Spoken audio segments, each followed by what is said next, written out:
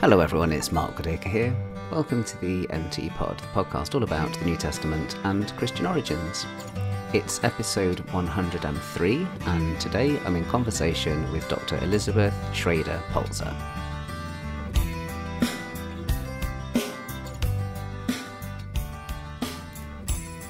Today's NT Pod is a conversation with Dr. Elizabeth Schrader Polczer, who is the Assistant Professor of New Testament at Villanova University. She recently defended her PhD with us in the graduate program in religion at Duke University, and its title was Those Who Love Me Will Keep My Word Narrative Variants in New Testament Gospel Stories. And in this podcast, we talk quite a bit about that work and some related topics. I hope you enjoy it. Very warm welcome to the podcast to Dr. Elizabeth Schrader Polczer.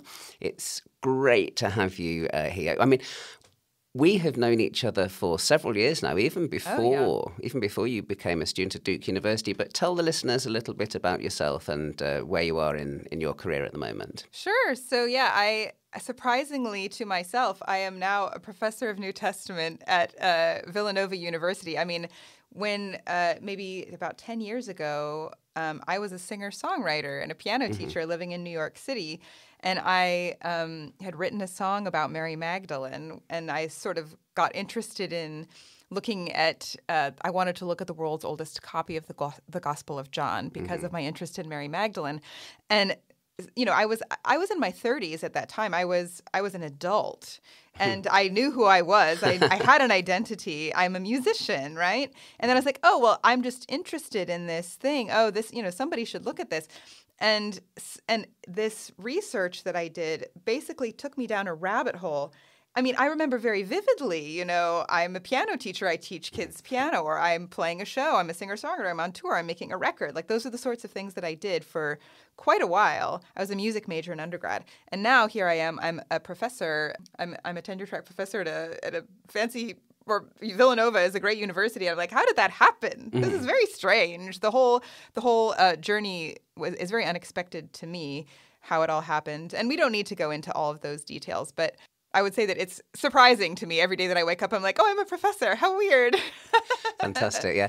Well, do you know what? I've been at this game for many, many years, and I still wake up and say, I am one of the luckiest people in the world. it Ah, is just yeah. so. It is a wonderful uh, job to have, and you know, if you're it, like you, like me, uh, you enjoy being in the classroom, oh, right? yes, definitely, yeah. And I think students pick up on that enthusiasm, Mm-hmm. and it does carry over into your research, and that's what we're going to be talking about on the podcast today. Yeah. And so, thank you so much for joining us. So, Libby, you did a dissertation here at Duke. University, Yes. and it was excellent. I had incredible guidance, Ah. wonderful readers, fantastic committee. well, actually, why don't you tell the why don't you tell the listeners who your committee was actually? Because uh, because there's quite a few famous names in there. Well, yeah, and it, so um, Jennifer Knust is my advisor, and she was the the chair of the dissertation, and Mark Goodacre was the second reader. He's here, um, and then uh, we needed some textual critics and some Nag Hammadi experts, and also we need a classics person for the kind of things that I'm doing. So we also invited Tommy Wasserman, Bart Ehrman.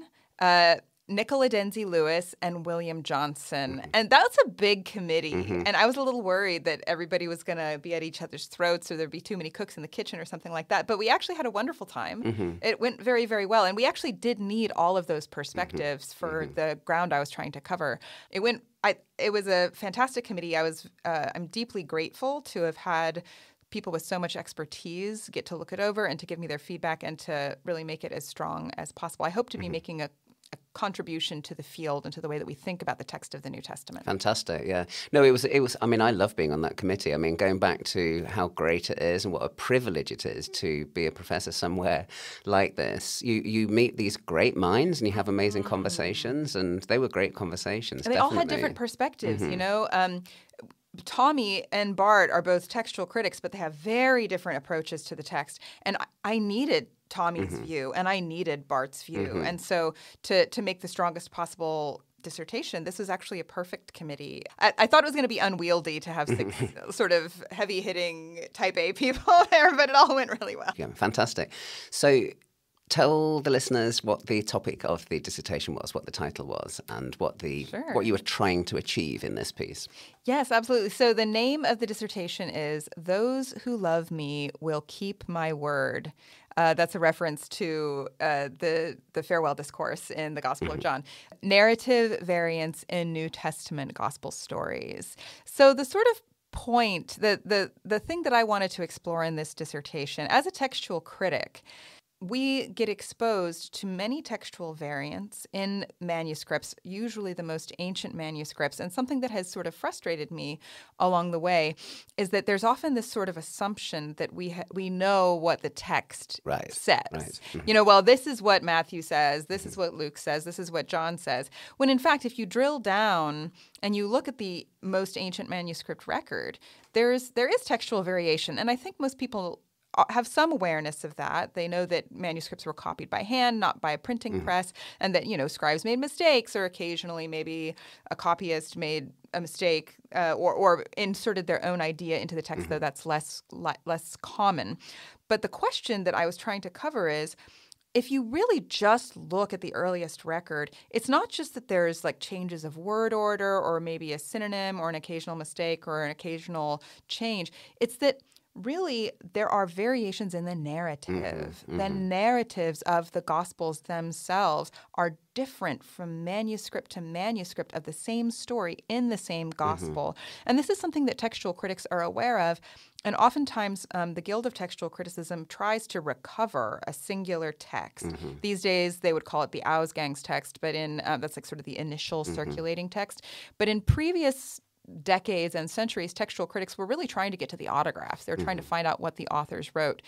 These days, there's more of a, a, a concession, like, well, we're not, we can't actually get back to it because oftentimes our earliest manuscripts are in the third century and the author might be writing in the first century. So what's happening in that time in between we don't know. So what we can try to do is reconstruct as far back as the circulating text allows and we don't know what happened in between the author and this initial uh, stream of text that we have access to. And so um, there has been a sort of concession that, oh, we can't necessarily get to the autograph, but there's still an attempt to construct this a singular text, mm-hmm, which is mm-hmm. like what is the earliest circulating text that we can try to reconstruct. And what I'm saying is, first of all, if we're being honest, oftentimes textual critics disagree with one mm-hmm, another. Like, well, this is the initial circulating text because X, Y, Z, and they'll make sort of like a, it's almost like a persua- persuasive legal argument for this one. But then there's always people who um, dissent and say, "Oh, well, no, I think that this is the earliest circulating text because ABC," and and that oftentimes you'll have competing arguments for which one is the earliest, and this is something that. Oftentimes, New, Testament, New Testament uh, exegetes don't want to think about. Oh, just tell us what the text is. Just Yeah. tell us what the right answer is, and then we'll interpret the Word of God, and then we'll tell everyone. And uh, occasionally, you will get some you know, for instance, this there's a very well-known one. I think it's in Mark 141 where does Jesus compassionate toward this man with leprosy or does is he mm-hmm. angry mm-hmm. with the mm-hmm. man with leprosy? And so um, there are certain translations that will say that Jesus was angry, and and some will say that Jesus was compassionate. And so an a, a- an average layperson might say, "Oh, wait, was Jesus angry or was he compassionate?" And different translations will flag that manuscript variant for you, as well as the fact that there is dissent within the text critical community, but that's an exception. I would say that most of the time, the Nestle Aland uh, Greek text, uh, the Greek critical edition, gets translated into English or French or Swahili or whatever, and say, okay, well, that's what the author wrote. And then you know that there's these manuscript variants in the footnotes, Yeah. but you just kind of don't pay mm-hmm. attention to them. but I'm interested in those variants below because sometimes they actually change the story itself, Right. which creates sometimes exegetical consequences, mm-hmm. interpretive consequences. And oftentimes, those variants below the line, sometimes there are people who say, I really think it might be this one. Mm-hmm. And we can't ever be certain. So it's this uncertainty that I'm interested in and the narrative multiplicity. And in fact, that multiplicity, I think that I, this is sort of what I land on in the dissertation. This is central to what the Gospels are. Right. The Gospels have never been a singular story. Mm-hmm. That that would be the diatessaron, mm-hmm. which is mm-hmm. what which was what the church rejected, right? The, the the Gospels have always been about multiple perspectives, and so I basically end up comparing very early textual variants to Matthew's version, uh, the parallel Matthew versus Mark versus Mm-hmm. Luke's version of a parallel pericope. Oftentimes, it is very much that way. Mm. Different manuscripts of Matthew might have different perspectives on what happened with Jesus and the rich young man, Right, right, yeah. Mm-hmm. And we don't actually know which one Matthew wrote, and so and each different version has different exegetical consequences. So I basically call for a, more of an embrace of that multiplicity Mm-hmm. and an acknowledgement that we that that we can't be certain. And maybe there's something about the uncertainty and about the multiplicity that almost theologically we should embrace Mm-hmm. as scholars that that's okay. Do you think, in some ways, what you're doing, or at least what's in the background, is you're answering that point, which you will sometimes hear, especially in apologetics kind of literature, which says that, okay, there are these variants. Hmm. But they're really insignificant. You don't need to worry about those. Let's just like kind of put those all to one side. And what you're saying is, no, it's not about worrying about them. And it's certainly not about ignoring them. It's about saying they tell a story Yeah. and they tell a really interesting story. And- And if we if we do try and shunt them away, we're actually being less faithful to the text Correct. by doing yes, that. Is that right? Exactly. We are being less faithful to the text. And oftentimes, uh, so something that Jennifer Knust, my advisor, um, has highlighted is that in the Guild of New Testament Scholarship, there is something that she calls very, she's kind of cheeky, textual desire. Yes. There's textual desire for a singular text. What is the true word of God? And people are so eager to know it because they want to interpret it. But she's saying that textual desire interferes with our being able to see the evidence mm-hmm. for what it is, mm-hmm. which is that there is uncertainty about the text. And um, also, one of the things that you raised actually when you mm. were reading the dissertation is that when you uh, when you focus on a singular text or just the text printed above the line in the critical edition, you are you're participating in marginalization because there are voices that had a different perspective on what the text of the gospel was. This they had a different version of this story in John or this story in Luke, and that was their gospel text. And you know, in the fourth century, the third century, you know, uh, we can't really get much back much earlier than that.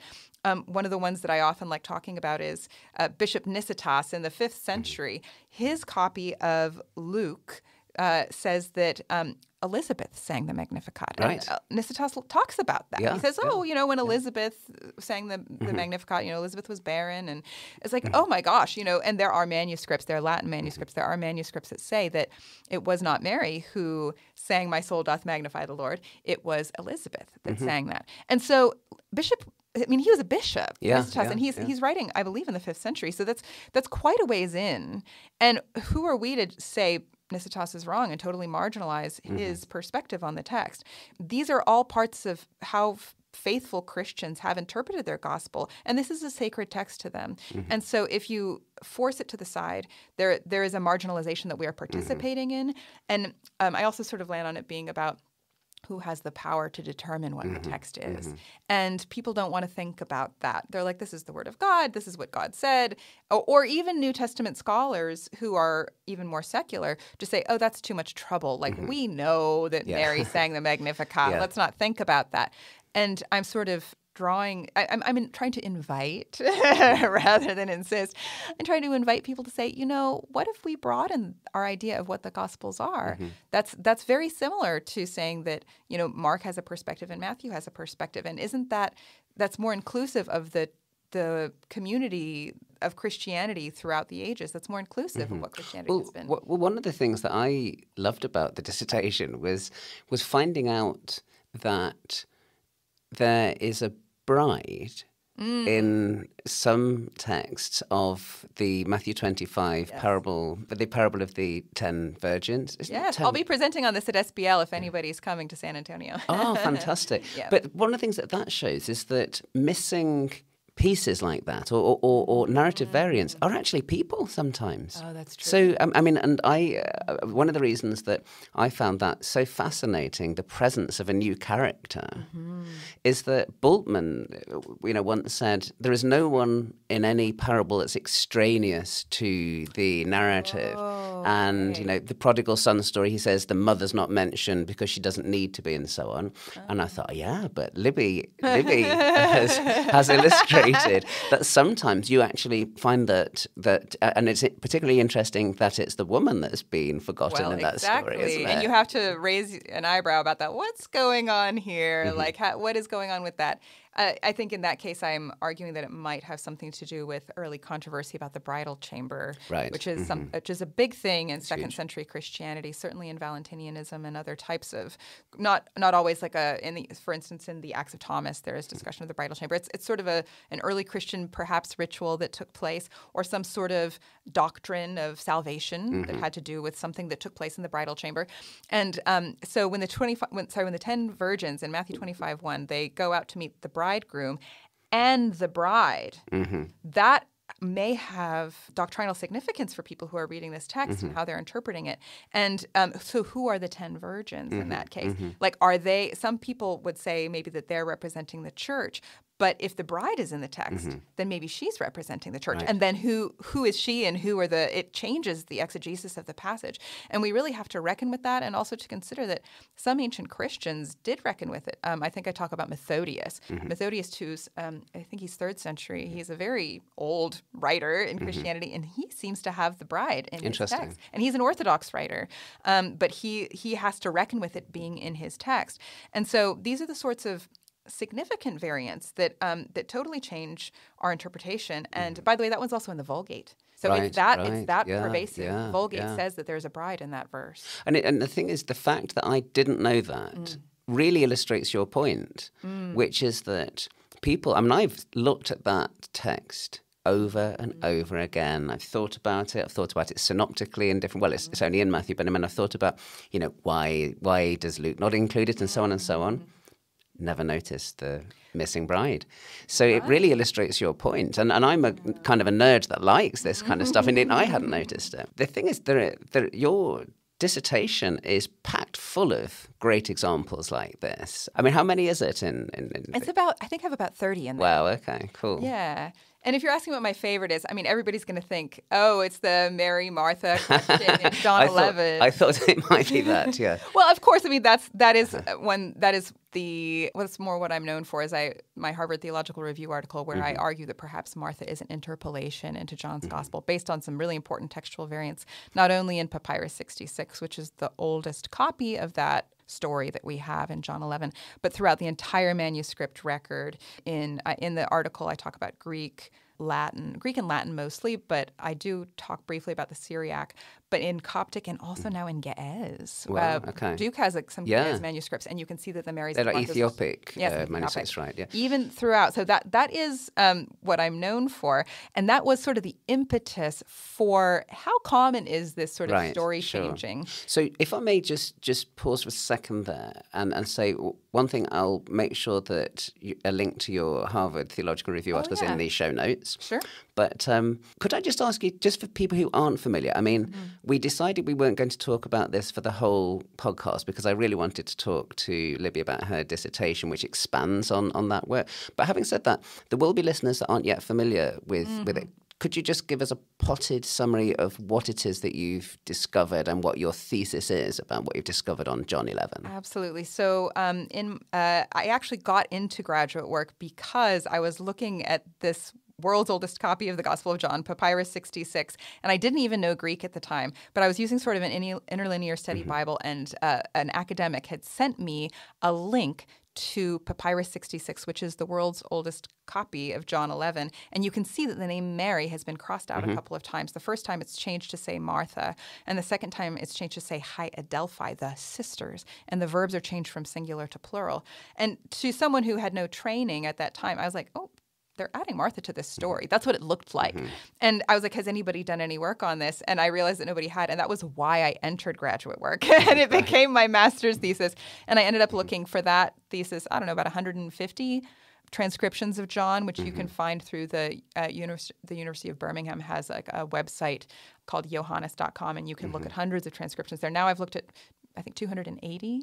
And um, there's And I just have to say that's my old haunting ground. Uh, Ah, so- Birmingham, so, yes. So it's lovely when I hear Birmingham Oh, mentioned uh, and think of uh, my colleagues over there. Yeah, they do incredibly important textual work over there. And so, so my master's thesis was um, basically pointing out, hey, look, um, it looks that Martha's presence is unstable throughout the entire textual transmission of the Gospel of John. And every time I look in a new place, I find more problems. As I was mentioning, the most recent place I've looked is the Ge'ez manuscript. Mm-hmm, and mm-hmm. there's definitely Mary's and Martha's mixed up in the mm-hmm. Ge'ez transmission, as well as manuscripts where just Mary's doing something where mm-hmm. your Bible would say that Martha did it. So there's you got it also in the Ethiopic, but also the the artistic record, um, which is something that I found since publishing that oftentimes the oldest uh, sarcophagi depicting the Lazarus story only have one sister. So the mm-hmm. thesis is is it possible that Martha, someone who had read Luke's gospel, someone who had read Luke chapter 10, verses 38 through 42, where there's two sisters named Martha and Mary, mm-hmm. and they have no brother mm-hmm. in yeah. that story, and they seem yeah. to be in the north,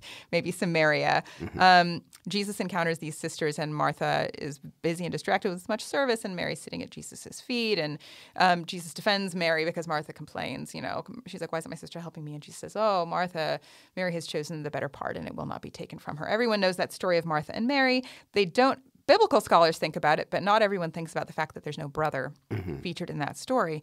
Whereas in John's gospel, Lazarus is introduced as having two sisters, Mary and Martha. Mm-hmm. Uh, but what my but just when I saw this mm-hmm. Papyrus 66 and you see the name Mary getting changed to Martha and the, the woman getting split into two in John 11, verse 3, you're like, wait a second. It looks like they're taking that character, Martha, from Luke's gospel and sticking her mm-hmm. into John. Mm-hmm. So, and then I basically did a survey of the entire manuscript record of John, and it shows that Martha's presence is unstable throughout mm-hmm. the entire the entire textual transmission. Basically, one in five Greek mm-hmm. manuscripts has some sort of problem around Martha.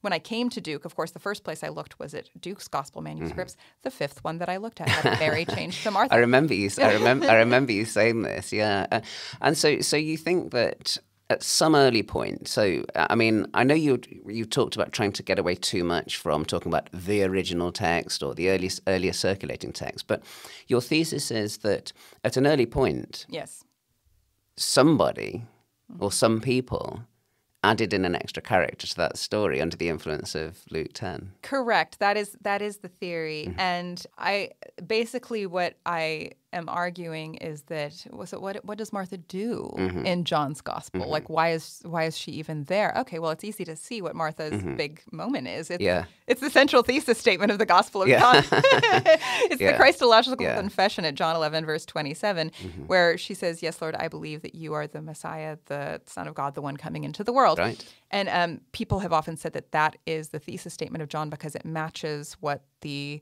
the evangelist concludes with in John 20 verse right, 31. It's basically a match to what mm-hmm. the evangelist concludes with um, in what is considered to be the perhaps first ending to John's gospel at the end of John mm-hmm. chapter 20. So um, I'm saying, okay, well, why would you put Martha in there? And um, in the course of my research for the Harvard Theological Review article, I learned that uh, Tertullian, who is a church father who wrote at the turn of the third century, in his treatise Against Praxeas, which is sort of a defense of Christianity, every single copy of Against Praxeas says that Mary confessed Jesus as mm-hmm. the Christ. Mm-hmm. Okay, mm-hmm. so let's say that you have a, a, version of John where Lazarus only has one sister name, and it's Mary, and she is confessing Jesus as the Christ. The other thing is that we also know that as far back as we can go in interpretation history, people thought that Mary of Bethany was Mary Magdalene. Mm-hmm. So, um, you know, Hippolytus of Rome seems to think so. The Manichaeans seem to think so. Ambrose certainly mm-hmm. thought so. So, if people think that Lazarus' sister Mary, Mary of Bethany, is Mary Magdalene. There's reasons that people might think that, maybe because when she anoints Jesus in John chapter 12, he says, Let her save it for the day of my burial. Mm-hmm, and there's mm-hmm. only one woman named Mary who goes to Jesus' right. tomb, and that's Mary Magdalene mm-hmm. in John's gospel, right? So we're just thinking about John's gospel here. We're not thinking about history or like what really happened. We're thinking about the sort of mm-hmm. intention of the evangelist. I'm saying, well, if there was a text form of John where it's just Lazarus and Mary, and then uh, people think that this Mary might be Mary Magdalene, and then she's mm-hmm. confessing Jesus as mm-hmm. Christ that makes her a central character yeah, yeah, in this yeah. gospel. I mean, it's such a fascinating thesis, and, and I do want to talk some more about the other things oh, in the dissertation. but I mean, you haven't yet fully persuaded me of the identity in John between those between those two women. But mm-hmm. what I think can't be gainsaid, definitely, is that so many people in you know everywhere you look saw Mary of Bethany as being Mary Magdalene. Yes, they do. I mean, yeah. the, you even get Mary Magdalene and her sister Martha, you know, Oh, cropping uh, up, yes, you know, and so I, if if Martha were added, then all they did just Yeah. throw it all together. and of course, one of the things that, that always amuses me is how quickly scholarly conventions Mm-hmm. become so accepted that people kind of read them into the text. So I, for years, used the phrase Mary of Bethany because I wanted to distinguish her from Mary Magdalene. But that's a scholarly convention. Mm-hmm. John doesn't call her Mary of Bethany, he just calls her Mary. Correct. Yes. Yeah. So Or Lazarus' sister Mary. You can go that Yes, way. yeah, sure, sure. So absolutely fascinating that is. But um, I asked you what your favourite. Yes. one well, so that was So- this one was the impetus. Yeah, that's the John impetus, 11 one okay. Mm-hmm. was the impetus, and of course, I've done a lot of work on that one and a lot of podcasts on that one. We don't need to keep doing Mm-hmm. Exactly, that. yeah. But I would say I am very interested. I would say uh, in the ones that have to do with instability around the women and their identities and there's a few of them and so this this one definitely led me into looking at other ones for instance John 2018 there are certain manuscripts that say you know usually uh, Mary goes to the other disciples um, after he sends her, right? He says, "Go to my to my brothers and tell them that I'm ascending to my God and your God." And Mary goes to the disciples, and usually she says, "Oh, I have seen the Lord, and He said these things to me." But there's a few manuscripts, some of them fourth century, that say the things which he said to Mary, she revealed to them, mm-hmm. and it uses the mm-hmm. verb reveal. Yeah, yeah, and yeah. it's like, whoa, wait a 2nd mm-hmm. and um, and this is, I mean, nobody, to my knowledge, I, I, if someone can correct me, please send me the scholarship. I, I hadn't seen anything about this. This is a place where, again, textual variant, variants have real exegetical consequences. In these fourth century manuscripts, Mary Magdalene is presented as a revealer, and that makes you think, wait a second if someone had a copy of John where Mary Magdalene is revealing, I think the verb is menuo. That's the verb that's used um, in Codex Bezae. If that is the verb, that you can ex- understand why someone might write something like a Gospel of Mary, Right. Where Mary is the revealer of Right. Jesus' teachings. Yeah. Like, wait a second. Okay, so this textual variant could actually have inspired an entire other Mm-hmm. gospel. So that changes, and it also changes the characterization of Mary Magdalene. I I think that sometimes. I'm, I'm particularly interested in the text itself fluctuating around Mary Magdalene's Right, presence yeah, in John, which yeah. is partly why I think that John 11 that it is Mary Magdalene Uh-huh. because there's so much fluctuation. So, so excuse me interrupting, Libby, but it's interesting there that when you talk about John 2018, you talk also about the Gospel of Mary. And I'll say that one of the things that I appreciated about your work, 'cause it's something I've tried to do in my own work as well, is, is try and overcome some of these canonical boundaries. Yes. I think there's still a huge canonical bias in our discipline. I mean, you can even see it in the fact that when I offer a course on non canonical Gospels, I get fewer people enrolling than if I teach something about the Bible. but um, it's fascinating the thought that something like the Gospel of Mary could be influenced by someone reading the Gospel of John. And if we have that canonical bias where we don't look at things like the Gospel of Mary, we're missing a really important element, aren't we, in, in how uh, Christians talked about these things? Yeah, I so um, this is something that I also uh, I've called attention to in a different publication that um, if you're not going to learn about early Christianity, you might not understand the textual variants. I mean, no one had had talked about this textual variant and its ex- exegetical consequences, to my knowledge, and um, and you really have to understand. You have to have read something like the Gospel of Mary to see what is going on. So to be to be fully responsible textual critics, you have to be aware of this non-canonical mm-hmm. stuff. You have to have familiarity to understand like why would that or it's possible someone had read the text the, sorry, it's possible that someone had read the Gospel of Mary and that caused them to change their manuscript of mm-hmm. John. That is mm-hmm. just as possible, Right, right? yeah. And so as responsible textual critics, as responsible scholars of the New Testament, if you're not reading the non-canonical stuff, you might not understand why someone would make a change in their New Testament, eh, sorry, in their in their gospel text, and therefore you might not be able to make the most accurate argument for which is the Ausgangs text, right? because you don't see the full picture at that time. So um, I, I absolutely agree with you, and that is a place where our work does overlap. That to fully understand what's going on at this time, you have to be familiar with this non-canonical stuff. Mhm. And I and I love the way that you actually brought in fascinating variants in non-canonical gospels themselves and other texts in your in your uh, quite a few of your examples were, were of that. It's one of the reasons we wanted to bring Nicola Denzey Lewis into Oh, the yes, conversation as well, wasn't it? Yeah, I do talk about variants in the Gospel of Mary. Um, and I think in the first version of the dissertation, I had some fun variations in things like the Apocryphon of John, but we was like, oh, that's a little bit too out there.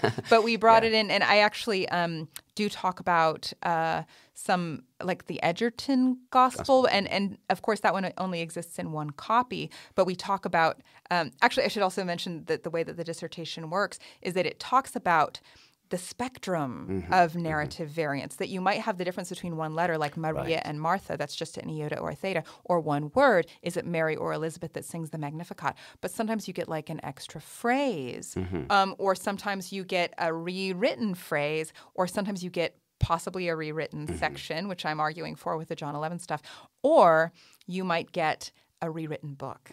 And so to me, that's that's also I, I'm I'm trying to frame these early Christian rewritings of actual gospels, such as the Egerton Gospel or um, even the Protevangelium of James, as um, taking place on a spectrum. People change Yeah. their stories. People Right. change their sacred stories. And, and I love I loved that business of, of showing that even one letter can make a huge difference. But then going from the spectrum from one letter all the way to an entire work, because you have a section as well on rewritings of, of, of entire gospels like Matthew rewriting Mark and so on. Yeah, and also you know like the Diatessaron or Mm-hmm. Marcion's Gospel or something like that. People don't people usually cordon that off. They, oh, Right. That's a different discipline. Yeah, The rewriting yeah. of a work or a, a different rewriting of a gospel is different than textual Mm-hmm. criticism. And I am trying to sort of blur the lines a little bit.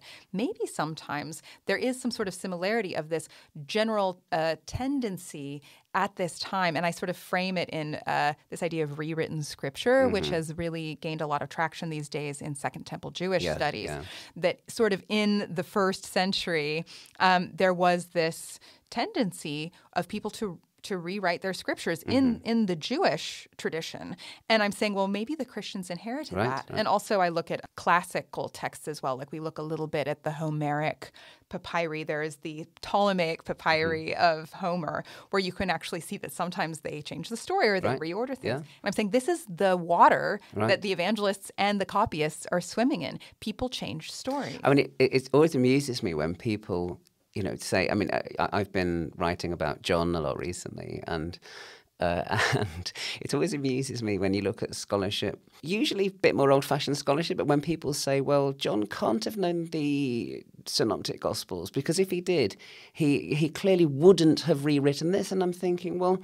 Even looking at the synoptics themselves, I mean, you've got massive amount of rewriting going on, and then people say, "Well, the, the, the Gospels, the, no one could have thought they were writing scripture, or no one could have treated these other things as scripture because then they wouldn't have made so many changes. And you're thinking, well, have you actually read any Second Temple Jewish literature? I They're know. rewriting scripture all the time. Yeah, they are rewriting scripture all the time. And again, that's the sort of thing that those who have textual desire Mm-hmm. do not want to think about. Let's not think about that. Let's just find the one text. But the problem is that oftentimes you then just reinstantiate the text that you assume Right, it yeah. is and that you want it to be.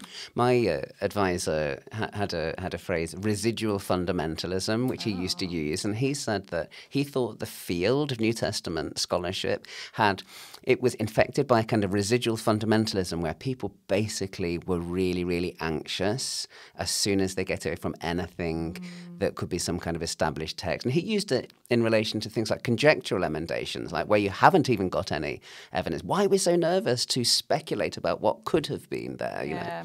But um, I, I've sort of uh, when I rudely interrupted you, uh, we were we were talking about uh, your favourite examples. So I, I love that one in John twenty eighteen. Um, g- give us give us one more if that's okay. Do you have another favourite? Well, you know, I've I've noticed that I've been talking a lot about the variants around the women, and Mm-hmm, I feel a little bit bad about that because this actually has something like 30 examples. Um, but I. I guess I should also preface by saying some of these no one had paid any attention to, and that makes me a bit sad. Mm-hmm, Yeah, you know, some yeah. of these are very important textual. Oh, I. I stand, uh, you know, putting my hand up. I, I stand, I stand, I stand uh, uh, fully repentant, having had it pointed out. So I, part of the dissertation. I don't explicitly state it, but I hope to show that there are there is some gendered activity happening. Yes. And another one that I am very interested in is in Mark 16, and I published this in the Comparative Oriental Manuscripts Bul- Ma- Manuscript Bulletin, and it's um, you can find it on my academia. Oh, we'll pop that on the Oh, show yeah. notes as well. Um, it's called "Was Salome at the Empty Tomb," and, and it is one of the It's- sections in the it's, su- dissertation. It's a super piece. It's Um, really good. And and so some of the again some of the earliest copies of actually in fact the four oldest copies of Mark 16 have four or different Mm. stories. Codex Sinaiticus, Codex Vaticanus, Codex Bobiensis, and Codex Bezae each provide a completely different narrative Mm-hmm. Yes, of yeah, what took yeah, place between Mark 1547 at the entombment and Mark 16:1 when the women buy spices and go to the tomb. So to to me that's saying what is going on here?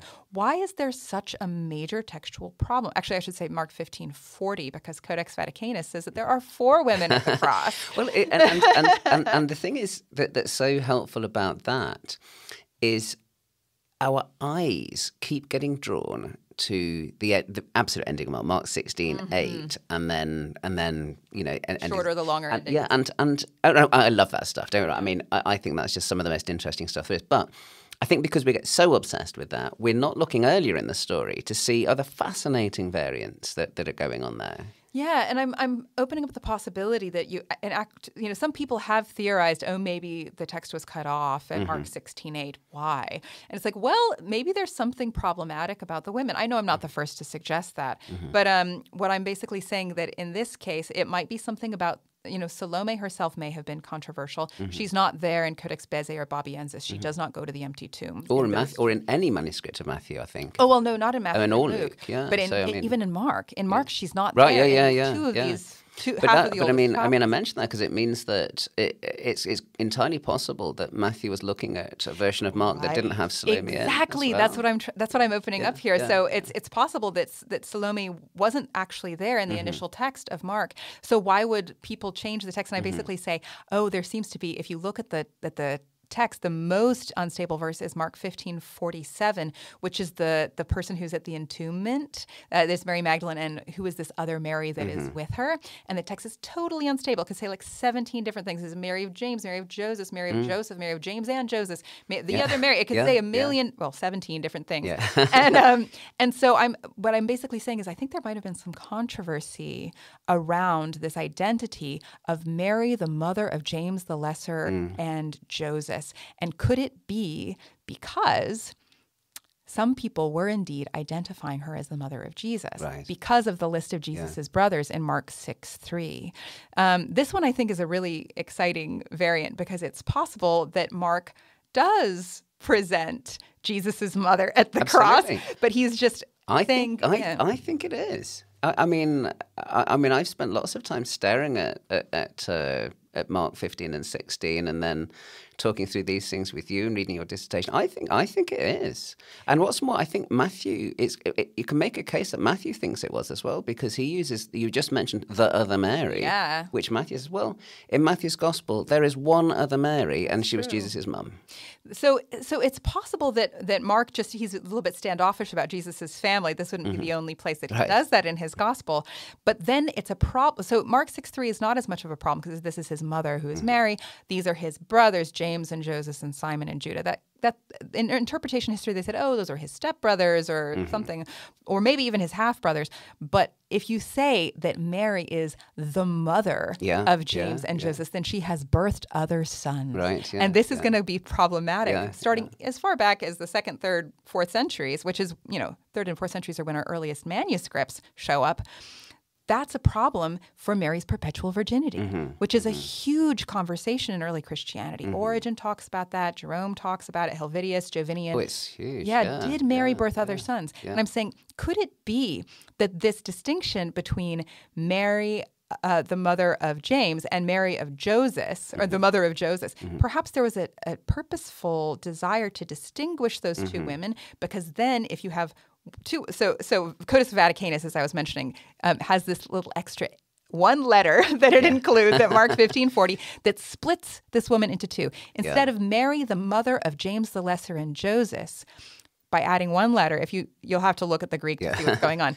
It becomes Mary, the mother of James the Lesser. Sorry, Mary of James the Lesser and, And. the mother of Joseph. yeah. And then when you get to Mark 1547, it's Mary of Joseph at the empty Mm-hmm. at the entombment, and then sixteen one is Mary of James at the empty Mm-hmm. tomb. And so then she's sort of been split in two. So in Codex Vaticanus, there are four women at the cross, Mm-hmm. and Mary of James is a different woman than Mary of Joseph. And I'm saying that solves, Codex Vaticanus Mm-hmm. Yeah. solves the Yeah. problem of whether this is Jesus' mother because they're different people. Right. So, and this illustrates so well, doesn't it, that textual variants are not just for us geeks. If you don't mind me, Oh, definitely geek too, because I know that we enjoy geeking out.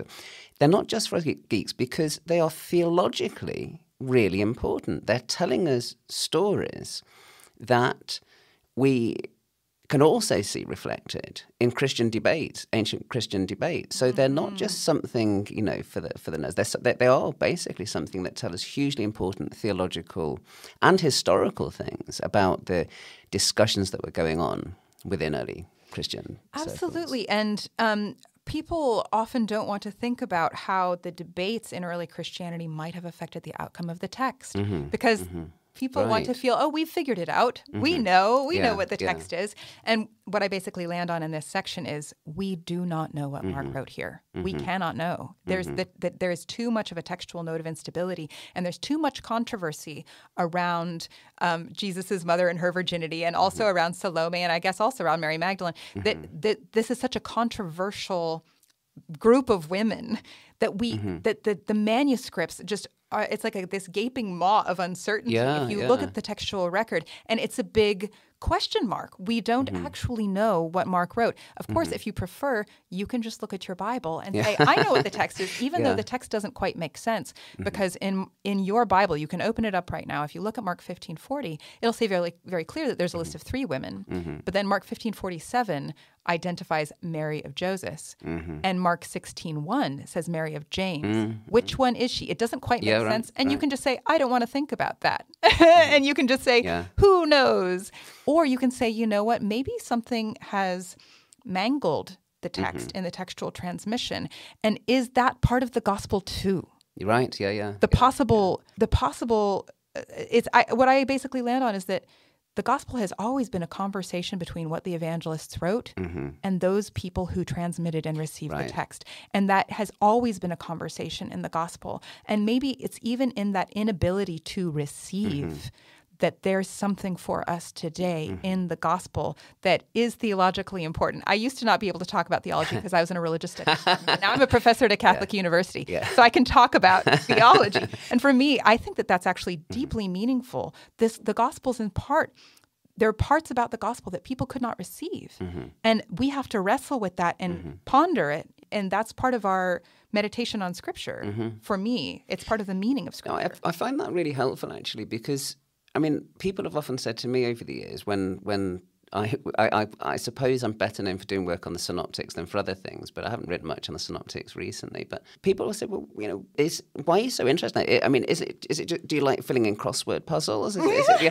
and and one of the um, the answers I've always given is, well, if you look at variant variations between the Gospels and the New Testament, even just stick with those, you're looking at a conversation that's Yes. going on. And if you have a conversation that's going on and a story that's being told and developed and changing within the pages of the canon, that says something quite interesting theologically, it seems to me. And I'm not very good at doing theology or any- anything, but I do understand the stakes in what we're doing historically for those that go away and reflect on these things theologically. So I think it's valuable what you're doing there. And and of course, yeah, like like you say, in, your job description has changed. So, so now now you're able to lean into theology as much as you wish. But will, but for you, is there is there a big theological takeaway from your work? I mean, it, do do you feel that it's changed the way that you think about the Bible, about Jesus, about the disciples, the women that surrounded Jesus? Has it mm. has it changed your thinking, the the work that you've done here? I think it has. You know, when I when I first entered the field, as so many people do, I was like, you know, I, I my question was, oh, was the text of John 11 changed? Did they mess with it because they didn't want Mary Magdalene to be too prominent? And you know, that's that's sort of something that is pretty straightforward. Like, what did John the evangelist write? We need to recover that one mm-hmm. singular text. Mm-hmm. But over the course of this dissertation, I I came to come to perhaps like a softer perspective, which is to say, we can't always know. And I think actually in the case of John 11, I have a position, but I concede we don't know. Mm-hmm. We don't actually know whether Martha was added or in some places like taken away. And and that's okay. Mm-hmm. There's something about about the conversation itself that is I think an encouragement to everyone to to not use to not weaponize the Bible. Yeah, yeah To to use yeah. it to say insist and say this is the word of God. The word of God is clear. And it's well maybe your printed KJV is clear, mm-hmm. you know, but mm-hmm. if you actually look at where it came from, it's sometimes there's a lot of conversation and I feel as though there is something something more profound that I also learned from this, which is not to insist, mm-hmm. not to insist that this is the one way mm-hmm. and you must. Sometimes it's clear, like, okay, well, they probably, the, the angel at the pool in John chapter 5 was probably added later. Mm-hmm. You know, that, that piece is probably not, mm-hmm. you know, but, and you can make arguments for that. Um, and so sometimes, yeah, people are changing it later, but mm-hmm. sometimes we don't actually know. And there's something in that uncertainty and that mystery that I think should bring, it brings mm-hmm. humility. It brings humility to our approach. That's, that's really helpful. And I think, you know, as, as scholars, I think sometimes we could do with a dose of humility about yeah. these things. And, and, I like what you say as well, very much about not weaponizing the mm. Bible. You know, we can we can see multiple cases of that. I mean, this podcast has a, a kind of subtitle, uh, um, a historical approach to the New Testament. Mm-hmm. But one of the things I, I I notice when I get feedback is people say that to me quite often that they they quite enjoy a historical approach to the New Testament, not because it necessarily changes or or revises their kind of theological views, but it can be a little bit less intense. Mm-hmm. It can be a little less. It can be a little bit less. People have a little bit less invested in it, and therefore yeah, you can actually. Charged. Yeah, yeah, yeah. I mean, do you, coming out of this, see yourself more as a historian or more as a theologian, and or is that just a completely it's so funny because when I'm in a theology this? situation, everyone yeah. thinks I'm a historian, and when I'm in a his- yeah. historical situation, people think I'm a theologian. I always kind of like to dance in between the mm-hmm. two. I'm interested in both. I mean, I was raised in the Episcopal tradition, and I'm still an Episcopalian. So um, we always say Scripture contains everything necessary to salvation. That's sort of the Anglican way of approaching Scripture. Mm-hmm. It's not it's not biblical inerrancy. Mm-hmm. It's mm-hmm. not saying this is like like the perfect word because mm-hmm. humans did have some part in it, but it mm-hmm. contains everything mm-hmm. necessary to mm-hmm. salvation. And I'm interested in the possibility of maybe scripture mm-hmm. means the variants mm-hmm. too and the variants are perhaps necessary for our salvation to me that's nice. that's yeah, yeah, i think that's a fun approach just to, to bring that humility that uncertainty and to say the encounter with Jesus has always been about not just this perfect thing that was revealed, but how it plays out in the world and how it takes us time mm-hmm. sometimes to to reckon with certain things that we might not like and also to have wisdom mm-hmm. about mm-hmm. it over time and to say you know we interpreted it that way for a very long time and we don't really like how it's turning out. And it's okay mm-hmm. for us to revisit and say, maybe we don't have to look at that text in such a rigid way. Maybe we can come, we can look at these variants and it can say there was always multiple ways, not just of interpreting the text, but even of the text as it stands. Mm-hmm. Even that was very was variant throughout time. And just sort of an embrace of that. And in some ways, as you also pointed out to me, a recovery of some of these marginalized mm-hmm. voices. So, sort of an embrace of multiple ways of looking at it. You know, it's all right if sometimes, eh, like in Luke's gospel, it says that there's people of God's goodwill instead of goodwill toward people, or like the question of whether a prophet arises in Galilee or whether it's the prophet or a prophet, just to say that we don't have to say the the person who disagrees with us is wrong. We can say this is how scripture was for many people mm-hmm. and to include all of these sort of voices throughout the centuries. Yeah, that's great. So, Libbie, what's next? I mean, uh, I, I, feel sort of bad sort of saying that because um, you've you've you've you've been prolific, not just in writing uh, this dissertation in recent years, but also in publishing on uh, publishing on adjacent topics. Um, what what are you what are you hoping to do in your research next? Well, certainly, um, this book is it has a it's a proposal now, mm-hmm. and so mm-hmm. you know, fingers crossed that uh, it'll be published somewhere soon. I I'm actually very interested. Uh, Mark and I were kind of geeking out yesterday mm. because the next, the latest Oxyrhynchus volume oh my goodness, has yeah. these. Um, and and yeah, it's entirely possible that an episode of the NT Pod might have come out on that before this interview goes out because I'm thinking of recording on it this weekend. I'll, I'll uh, so so uh, it may be that listeners already know about this. Depends if I get my act together or not. But you're probably going to be talking about P-oxy Yes, I 5575, am. Yes, which is a second century copy of 5575, Sayings yeah, of Jesus. yeah. But this exact same Oxyrhynchus volume also has Mm-hmm. a previous previously unknown dialogue between Jesus and Mary, Yeah. who could be the composite Mary, as you have argued for, Yeah. Mm-hmm. could be Mary Magdalene. Um, and to me, that's that's exciting. I, maybe I'm I'm thinking right now. I'm still kind of pondering could this be part of that missing section of the gospel of mary so in the berlin codex there's which is the most complete it's in coptic the closest to a complete copy we have of the gospel of mary. Uh, it starts sort of in the middle and then there's also four pages missing right when mary starts to talk about her vision of jesus. And this um, this oxyrhynchus fragment is jesus talking to mary and giving her a sort of revelation. And one of the things that I'm thinking about, it, actually, Silke Petersen raised the question at uh, SNTS in Vienna, and I'm continuing to think about that. Could this be part of the Gospel of Mary?